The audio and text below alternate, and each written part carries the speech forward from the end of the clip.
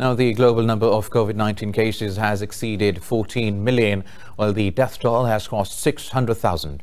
This comes as the US posted another record cases with over 77,000 people testing positive in the past day.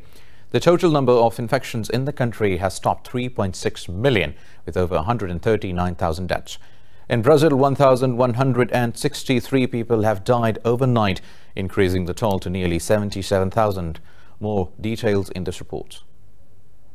The World Health Organization has reported a record single-day increase in global coronavirus cases. The biggest increase are from US, Brazil, India, and South Africa. Despite a spike in cases, US President Donald Trump has ruled out a national mandate requiring people to wear face masks. But California's governor has issued guidance that schools can start in-person instruction if they are off the state's monitoring list for 14 days. He said all schools will require masking, social distancing, and regular testing. The one thing we have the power to do to get our kids back into school is look at this list again.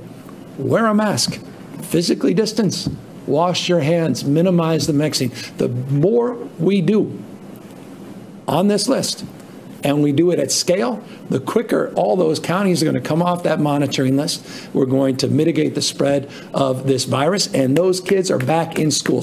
Australia has cancelled the next two-week sitting of the parliament, saying there is a significant risk of virus spread. Azerbaijan has extended lockdown restrictions including the closure of its borders until August 31st after a further rise in the number of infections. Authorities in Spain have urged the residents to stay home and not gather in groups of more than 10 as they try to curb a rise in coronavirus cases. Municipis the residents of all these municipalities should stay home if going out is not essential. This is the request we make. Stopping the virus from running out of control depends on all of us. We recommend that you follow this measure and that you do not go to your second homes this weekend.